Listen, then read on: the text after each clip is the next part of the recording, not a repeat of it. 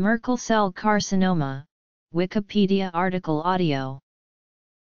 Merkel cell carcinoma is a rare and highly aggressive skin cancer, which, in most cases, is caused by the Merkel cell polyomavirus discovered by scientists at the University of Pittsburgh in 2008.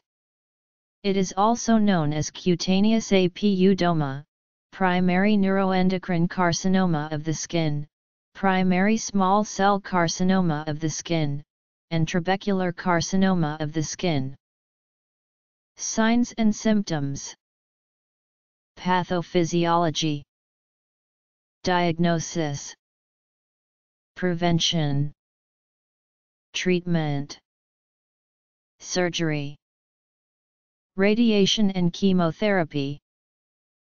Sentinel lymph node biopsy Drug therapy Prognosis Epidemiology Notable people who have had Merkel cell carcinoma Approximately 80% of Merkel cell carcinomas are caused by MCV. The virus is clonally integrated into the cancerous Merkel cells. In addition, the virus has a particular mutation only when found in cancer cells, but not when it is detected in healthy skin cells. Direct evidence for this oncogenetic mechanism comes from research showing that inhibition of production of MCV proteins causes MCV-infected Merkel carcinoma cells to die but has no effect on malignant Merkel cells that are not infected with this virus. MCV-uninfected tumors, which account for approximately 20% of Merkel cell carcinomas, appear to have a separate and as yet unknown cause. These tumors tend to have extremely high genome mutation rates, due to ultraviolet light exposure, whereas MCV-infected Merkel cell carcinomas have low rates of genome mutation. No other cancers have been confirmed so far to be caused by this virus. Because of the viral origin for this cancer, immunotherapies are a promising avenue for research to treat virus-positive Merkel cell carcinoma. This cancer is considered to be a form of neuroendocrine tumor. While patients with a small tumor that has not yet metastasized to regional lymph nodes have an expected 5-year survival rate of more than 80%, once a lesion has metastasized regionally, the rate drops to about 50%. Up to half of patients that have been seemingly treated successfully subsequently suffer a recurrence of their disease. Recent reviews cite an overall 5-year survival rate of about 60% for all MCC combined. Merkel cell carcinoma occurs most often on the sun-exposed face, head, and neck. MCC usually presents as a firm, painless, nodule or mass. These flesh-colored, red, or blue tumors typically vary in size from 0.5 cm to more than 5 cm in diameter, and usually enlarge rapidly. Although MCCs may arise almost anywhere on the body, about half originate on sun-exposed areas of the head and neck, one-third on the legs, and about one-sixth on the arms. In about 12% of cases, no obvious anatomical site of origin can be identified. Merkel cell cancers tend to invade locally, infiltrating the underlying subcutaneous fat, fascia, and muscle, and typically metastasize early in their natural history, most often to the regional lymph nodes. MCCs also spread aggressively through the blood vessels to many organs, particularly to liver, lung, brain, and bone. Several factors may be involved in the pathophysiology of MCC. They include a newly discovered virus called Merkel cell polyomavirus, ultraviolet radiation exposure, and weakened immune function. MCV likely contributes to the development of the majority of MCC. Approximately 80% of MCC have this virus integrated in a monoclonal pattern, indicating that the infection was present in a precursor cell before it became cancerous.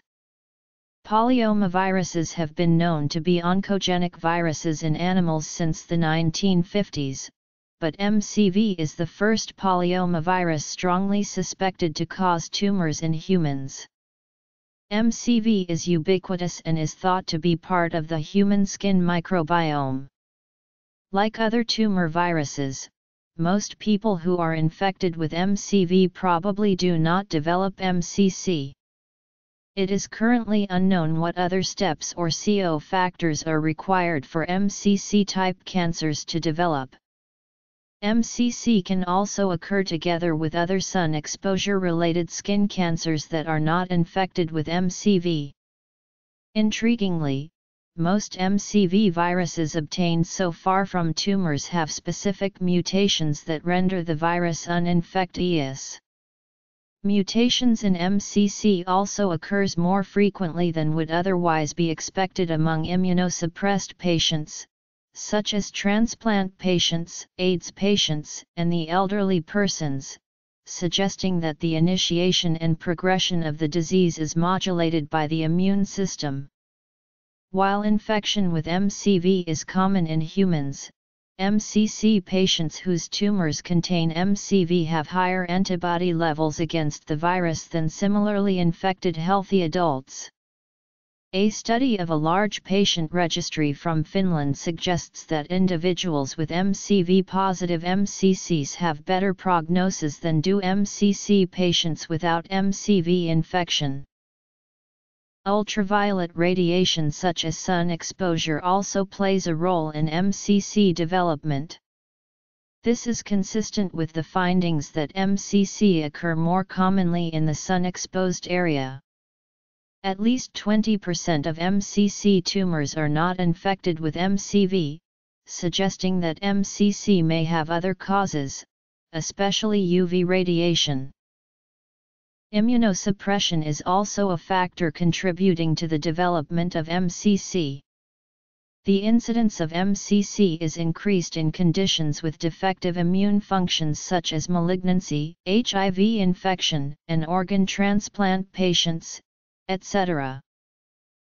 Definitive diagnosis of Merkel cell carcinoma requires examination of biopsy tissue. An ideal biopsy specimen is either a punch biopsy or a full-thickness incisional biopsy of the skin including full-thickness dermis and subcutaneous fat.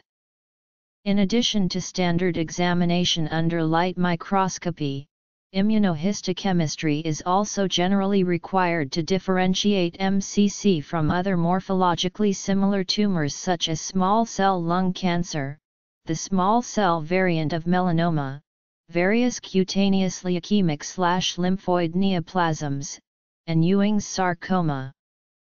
Similarly, most experts recommend longitudinal imaging of the chest, typically a CT scan, to rule out that the possibility that the skin lesion is a cutaneous metastasis of an underlying small cell carcinoma of the lung.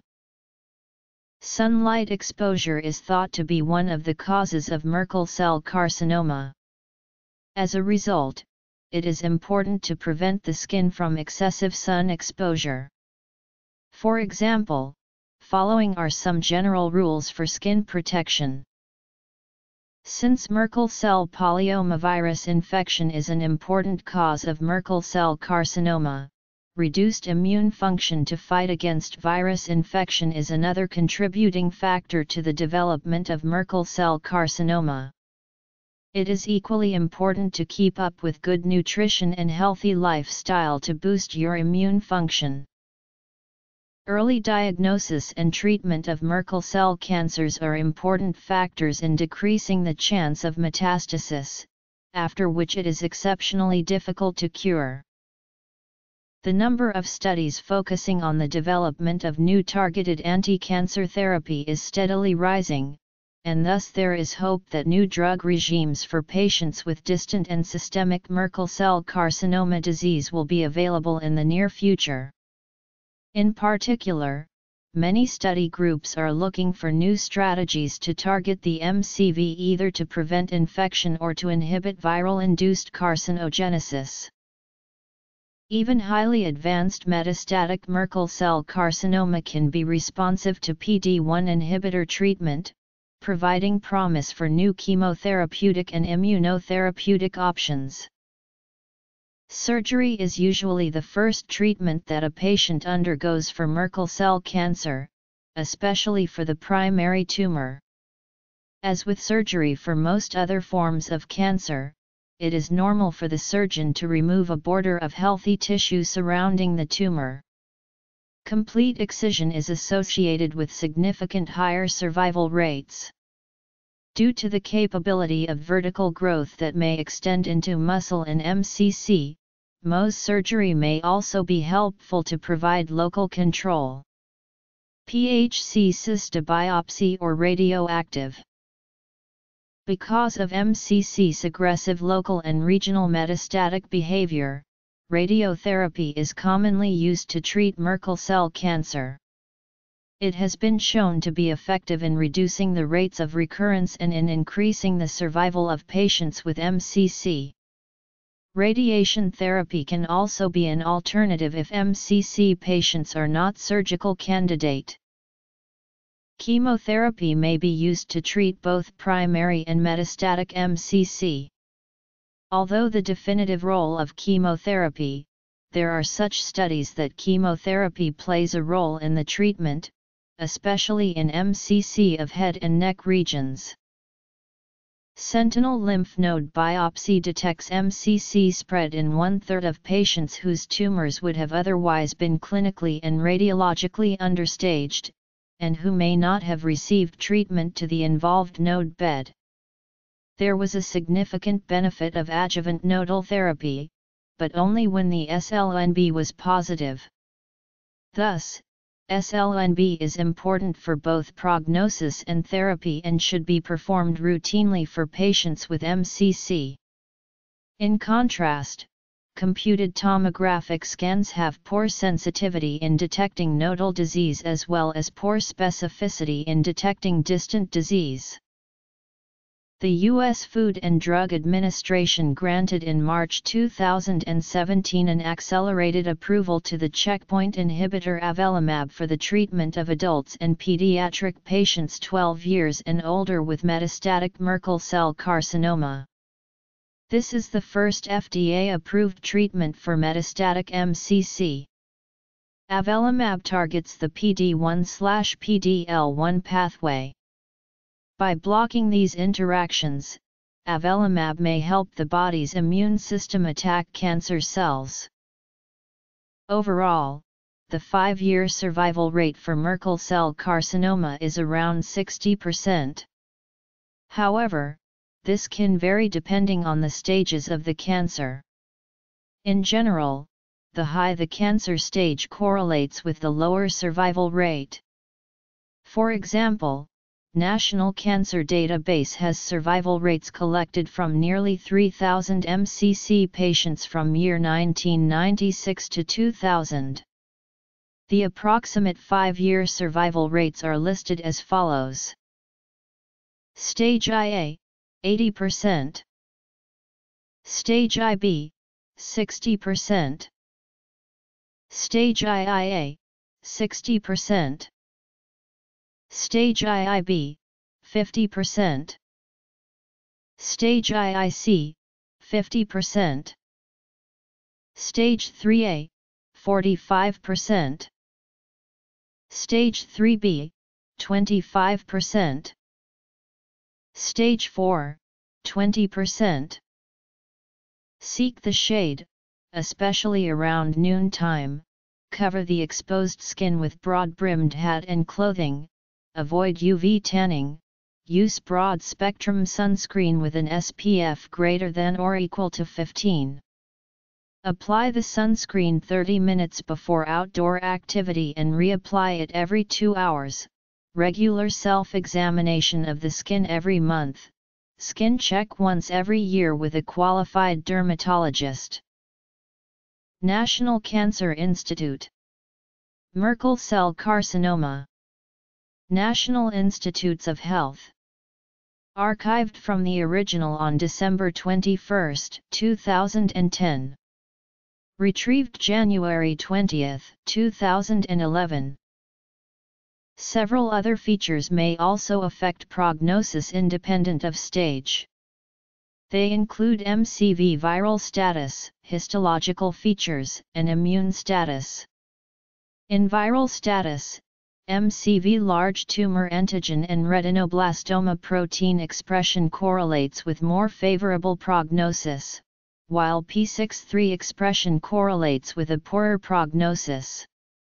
Histological features such as intratumoral CD8 plus T lymphocyte infiltration may be associated with a favorable prognosis, while lymphovascular infiltrative pattern may be associated with a poorer prognosis.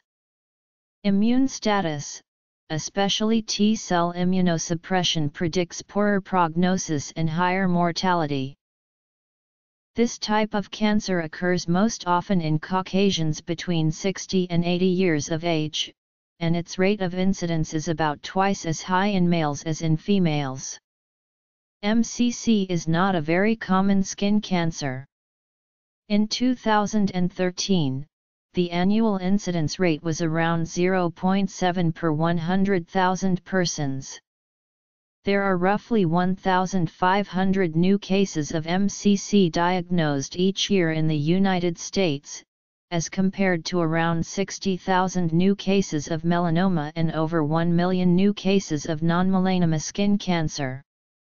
MCC is sometimes mistaken for other histological types of cancer, including basal cell carcinoma, squamous cell carcinoma, malignant melanoma, lymphoma, and small cell carcinoma, or as a benign cyst. Researchers believe that exposure to sunlight or ultraviolet light may increase the risk of developing this disease.